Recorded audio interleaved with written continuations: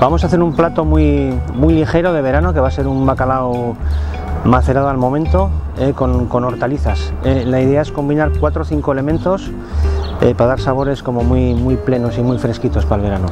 los ingredientes van a ser bacalao desalado en tacos que vamos a macerar unos momentos en remolacha licuada y las hortalizas van a ser tomate asado, asado al horno con un poquito de sal y azúcar y aceite de oliva eh, pimientos asados pelados y triturados. Y, algunas verduras que nos dan matices de tierra como es eh, la remolacha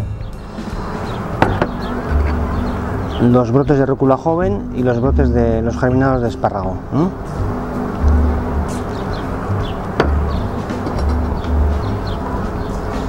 Para el montaje del plato lo primero que haremos será sumergir los dados de bacalao de mediano grosor, hemos dicho, en, en la remolacha, en el licuado. Eh, los tenemos macerando ahí durante un par de minutos, como mucho, no hace falta más.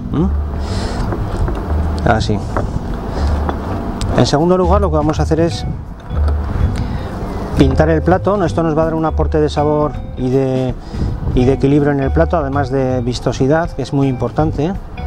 De este modo, sin miedo. Tercero, el tomate asado que hemos asado previamente al horno con sal y azúcar, como hemos dicho. Colocamos tres gajos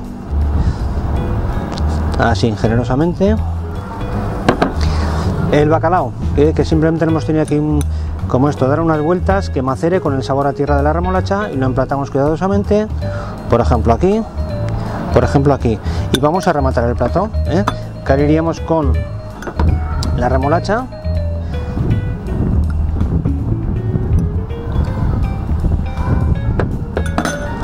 los brotes de espárrago y la rúcula que la vamos a colocar cuidadosamente